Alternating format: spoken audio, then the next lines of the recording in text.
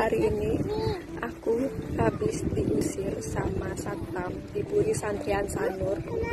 Katanya aku nggak boleh duduk di pinggir pantai itu. Itu milik pribadi itu milik hotel. Terus aku ditanya aku tamu tamu hotelnya itu enggak ya jelas aku bukan.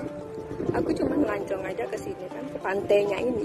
Pantainya kan milik publik kan milik umum. Terus dia usir aku dong.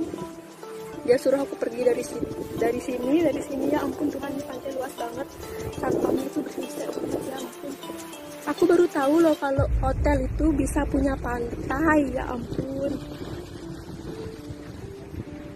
Please deh. Ya ampun aku masih shock banget ya ampun ngapain aku diusir ya? Ini emang punya siapa sih pantainya? Serius aku nanya ya ini siapa sih yang punya pantai ini? Terus di sebelahnya itu ada kayak villa. Villanya itu sih private juga. Tapi orang-orang masih bebas kok duduk-duduk di depan pantainya itu nggak ada yang larang bahkan satpamnya nggak ada yang larang sama sekali kok. Itu oh itu juga villa besar.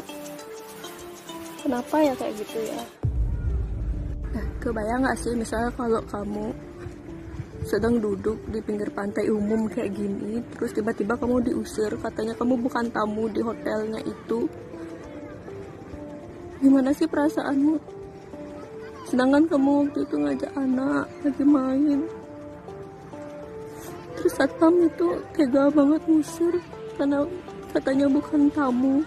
Di hotelnya itu ya ampun aku lo cuma duduk di pinggir pantai main-main air udah itu aja. Nggak gangguin tamunya kok aku bukan sampah aku bukan aku ya aku orang biasa emang tapi jangan dong kayak gitu sama orang lokal.